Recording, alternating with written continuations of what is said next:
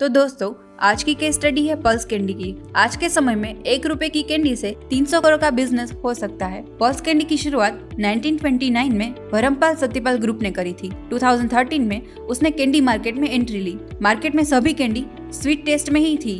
इसका फ़ायदा पल्स ने उठाया। पल्स कैंडी मार्केट में 2015 में लॉन्च हुई। रजनीगंधा, बाबा इलायची पास पास और कैच मसाले, ये सब डीएस ग्रुप के ही प्रोडक्ट्स हैं। ये सब मार्केट में लॉन्च करने से पहले कस्टमर फिट की रिसर्च की जाती है। मैंगो बाइट और कच्चा मैंगो बाइट ने मार्केट को बना लिया था। इसके लिए डीएस ग्रुप ने मैंगो का ही यूज़ करने का सोचा। इंडिया में गुजरात और राजस्थान के कई सारे एरियाज़ में मैंगो के ऊपर नमक और मसाले लगा के बेचे जाते हैं, जो लोगों को बहुत पसंद आते हैं। इसका यूज़ करके डीएस ग्रुप ने ये मसाले पाउडर फॉर्म में बनाकर पल्स कैंडी बनाई। लोगों को पल्स कैंडी तक पहुँचाने के लिए डीएस ग्रुप ने एक्सटेंसिव डिस्ट्रीब्यूशन नेटवर्क का यूज़ करा। मार्केट में चेंज का इश्यू रहता है। इसमें कस्टमर को चेंज में पल्स कैंडी देनी शुरू की। मार्केट में पल्स कैंडी की डिमांड बढ़ने लगी, जिसको डीएस ग्रुप फुलफिल नहीं कर पा रहे थे और सिर्फ़ 60 परसेंट का ही स्टॉक होता था। पल्स कच्चा बाइट मैंगो आम की एक कॉपी ही है। वो सिर्फ़ अंदर के मसाले से अलग होती है। डीएस ग्रुप ने अपने प्रोडक्ट में हल्का सा चेंज करके नया प्रोडक्ट लॉन्च करा और ये चेंज फ्लेवर का था। इसके साथ ये प्रोडक्ट उनकी प्रॉफिट मेकिंग मशीन बन गई। Easy to pronounce name amazing taste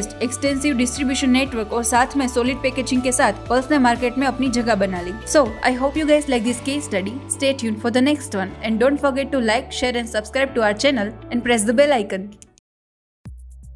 हाथ बढ़ाओ व्यापार बढ़ाओ। डाउनलोड फ़ायदे नाउ